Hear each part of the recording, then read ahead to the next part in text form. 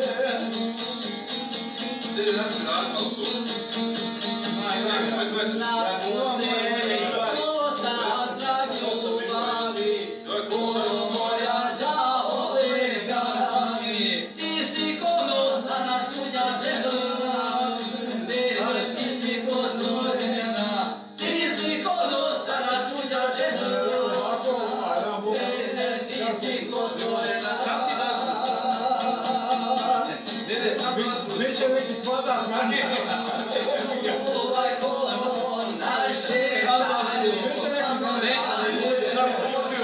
Sad kupiš, ti ćeš neki podat. Moja